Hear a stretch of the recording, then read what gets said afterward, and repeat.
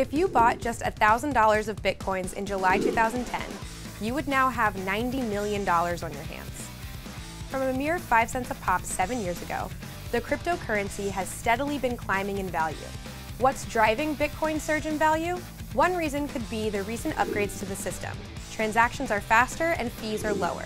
Another reason might simply be that more people know about it and are comfortable with the idea of a cryptocurrency, including investors. As more mainstream traders and investors get on board, the currency is seen as increasingly robust. For the uninitiated, Bitcoin is a virtual currency created by a mysterious individual who goes by the name Satoshi Nakamoto, though that is most certainly not his actual name.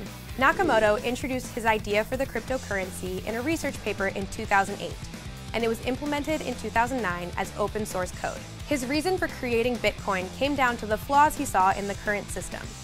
Banks debasing currency, a lack of privacy and security, banks' predatory lending practices, and the difficulties and expenses with transferring money. With e-currency based on cryptographic proof, without the need to trust a third-party middleman, money can be secure and transactions effortless.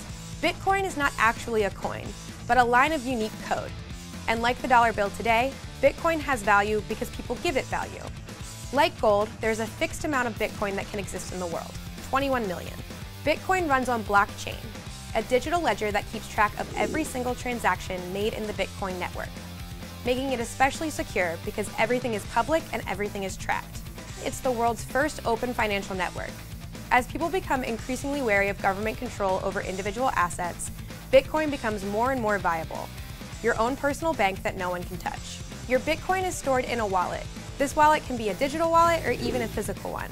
Wherever you think your unique key, a long string of numbers that is yours and yours alone, will be safest. If you're looking to invest in Bitcoin, you can do so in three different ways. Number one, you can mine your own, which is very difficult.